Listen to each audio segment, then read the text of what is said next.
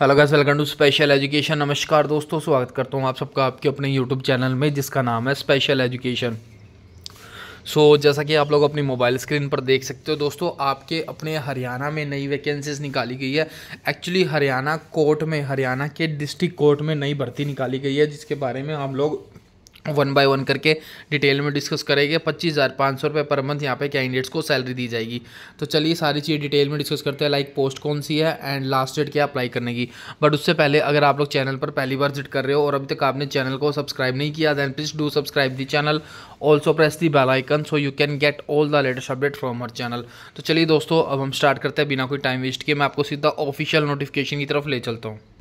तो चलिए video start करते हैं। आगे बढ़ने से पहले एक छोटी सी इन्फॉर्मेशन और शेयर करना चाहूँगा दोस्तों। अगर अभी तक आप लोगों ने हमारा व्हाट्सएप ग्रुप या फिर व्हाट्सएप चैनल नहीं ज्वाइन किया तो आप लोग जाके ज्वाइन कर सकते हो। यहाँ पे आपको डेली आठ से दस नई जॉब्स की अपडेट मिलती रहती है। यूट्यूब पर तो आप लोगों को पता है, एक दिन में मैक्सिमम एक, दो या तीन वीडियोज़ ही एक दिन में अपलोड हो पाती है। तो आप लोग व्हाट्सएप चैनल जाके ज्वाइन कर लो, जहाँ पे आपको डेली आठ से दस नई जॉब्स की अपडेट मिलती रहती है। तो चलिए आज के इस नोटिफिकेशन के बारे में बात करते हैं। जो नई वैकेंसीज निकाली गई है। सो स्क्रीन पर ऑफिशियल नोटिफिकेशन देख सकते हो। Office of the district and session जज पानीपत की तरफ़ से नोटिफिकेशन जारी किया गया। यहाँ पे पहले मैं आप लोग को पोस्ट के बारे में बात कर देता हूँ। पोस्ट निकाली गई है टोटल नाइन पोस्ट निकाली गई है। पोस्ट का नाम है आपके स्टेनोग्राफर ग्रेड थर्ड और यहाँ पे आप लोग देख सकते हो कैटेगरी वाइज इन्होंने पोस्ट का बायोफिकेशन कर रखा है। ये चीज़ आप लोग देख लेना स्टेनोग्राफर ग्रेड थर्ड की पोस्ट है।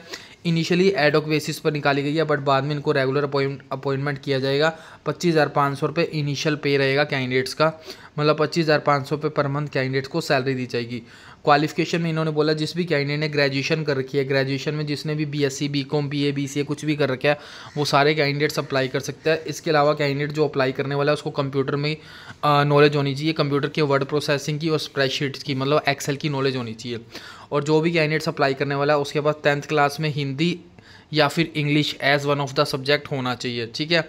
और एज लिमिट के बारे में बात करते हो कैंडिडेट्स की जो एज है 18 से लेकर 42 साल के बीच में होनी चाहिए। इसके अलावा कैंडिडेट्स को कैटेगरी वाइज एज में रिलैक्सेशन दिया जाएगा as per the Haryana government rules and regulation और जो कैंडिडेट्स की एज कैलकुलेट होगी वो एक जुलाई 2024 के अकॉर्डिंग कैलकुलेट होगी।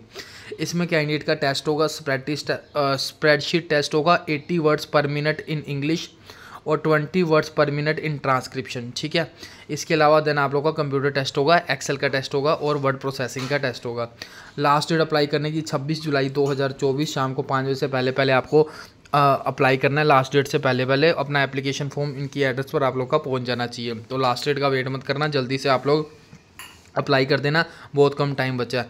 और ये आप लोग एप्लीकेशन फॉर्म देख सकते हो, इस एप्लीकेशन फॉर्म को फिल करके आपको इनके एड्रेस पर लास्ट डेट से पहले पहले सेंड करना है। और ऐसी जॉब्स की अपडेट पाने के लिए चैनल को सब्सक्राइब कर लो, और कोई डाउट्स वगैरह हो तो आप लोग पूछ सकते हो।